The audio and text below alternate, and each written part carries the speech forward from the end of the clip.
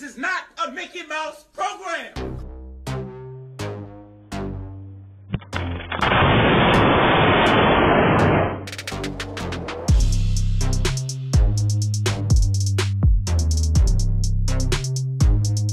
This is Dick Rickulous. D- What's going on, guys? Derek here from Williston Audio Labs, and yes, we're going to test another mini amp.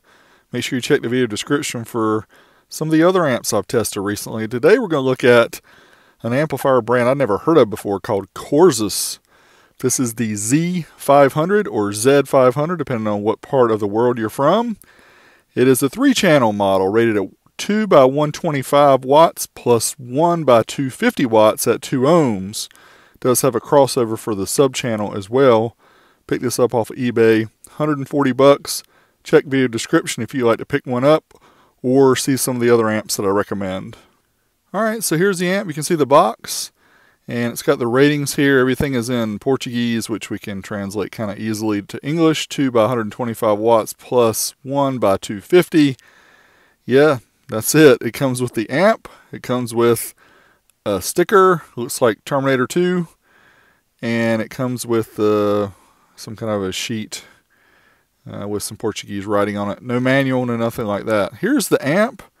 It's a different looking design. Has a subwoofer gain actually on the top of the amp, but there is no gain for the other channels. You can see there's also a 20 amp fuse, a 12 volt connection, remote terminal, ground terminal. Those are all 12 gauge. We smack it up, flip it, rub it down, I mean, turn it around. On the other side, you have the speaker terminals. These are like 16 gauge, has a sub, and then the right, left, and also RCA inputs for your low level inputs from your head unit. And on the bottom, there's a sticker, which is very convenient. It tells you how everything works. I like it when they do this. Maybe that's their manual. It's just on the bottom. That way you don't have to waste any more paper. This thing is plastic, though. Feels very cheesy. It's not easy being cheesy. As far as dimensions, 7.3 inches long by 3.7 inches wide, millimeter equivalents there as well, and then 1.7 inches on the depth. So we got the amp all wired up using 12 gauge for the power and ground, and for the speaker terminals we use 16 gauge, and we got the RCAs from the head unit. Now, before we get too far into the test, let's talk about some big dummy math 101. So easy your mama could do it. 20 amps times 14.4 volts is 288 watts. We're going to say it's around 90% efficient if we're lucky. That's 259 watts. So, my friends, there's no way we're getting 500 watts. Now, with that said, let's go ahead and power the amp up. Turn on the good old amp dyno. Get the amp connected up, and let's try it out and see what we get. What are these real numbers going to be? You know, Dick Rickos has already joined us, so we don't expect a whole lot. First off, let's try 4 ohms. There's no ratings provided here for the amp, but we're going to show you what we get. Certified, first up, up to 1% THD. This is the stereo channels I'm showing here. Yeah, right around 20 watts at 14.48 volts. And we also had the AMM1 on the sub channel, and we got 71 watts at 3.9 ohms there.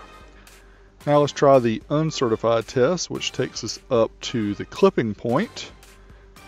And again, we're using 40 hertz tests on all these, so it loads all the channels because the sub channel is crossed over. 26 watts per channel, 14.4 on the sub channel. We got 70 watts, 3.9 ohms on the resistor. Now let's try dynamic burst, 40 hertz. Send a pulse tone into the amp. Not much more power. 27 and 25 watts, 14.44. And then the sub channel right about the same again, 68 watts at 3.9 ohms. As far as efficiency goes, we measured around 70%, but due to the clamp meter, and since it's such a small number, we just estimated between 70 and 75%. Now let's try 2 ohms rated 2 by 125 plus 1 by 250. So we have the stereo channel on channel 1 and we have the sub channel on channel 2 and yep.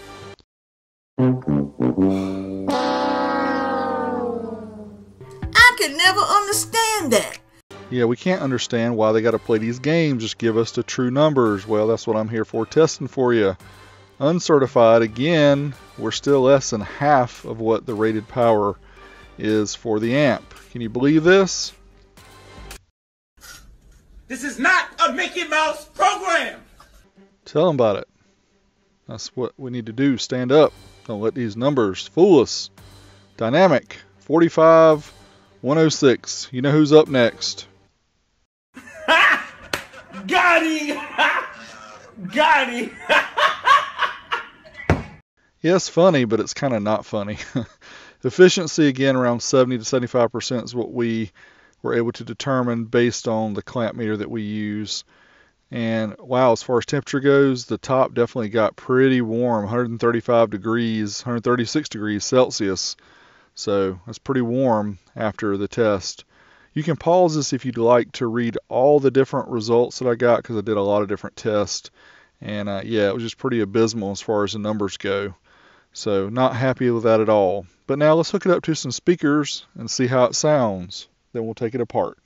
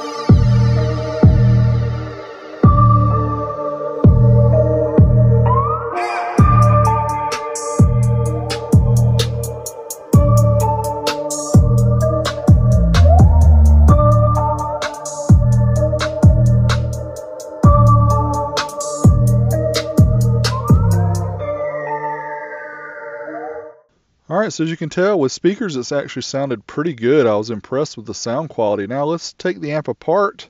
There's just one screw here where the RCAs are and then you have to peel the sticker back on the bottom and there's one more screw on the bottom that holds the case on. Then we can take the insides of the amp out and here you can see the two different parts, the circuit board and the heat sink.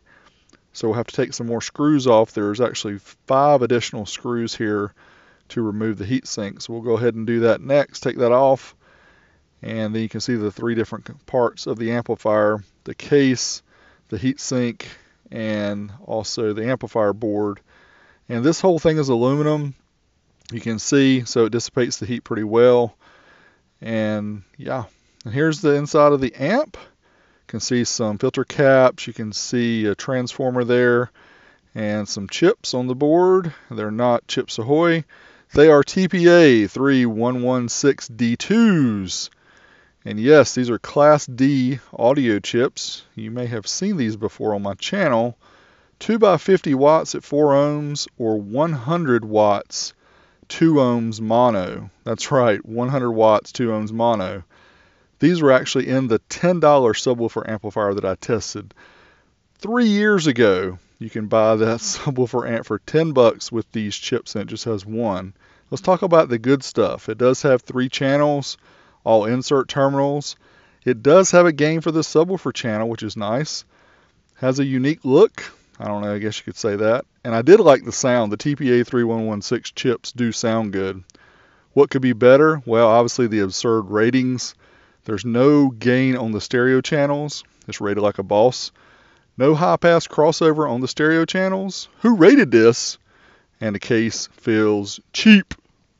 Alright guys, there you have my test on the Corzus Z or Z500 RCA model. Again, make sure you check the video description for links to other mini amps I've tested. This is definitely not the best one I've tested, but it does sound good. I just do not like the way they overrated the amplifier. So understand you're going to get about 40 watts per channel on the stereo load, and you're getting about 80 watts on the subwoofer channel. So thanks as always for watching. Appreciate you supporting my channel. This is Big D. Until next time, I'm out of here.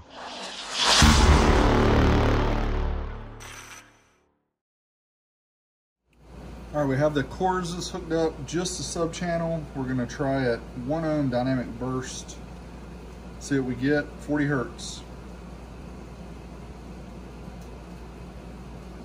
Shuts off. Shuts off. This is where the trap is.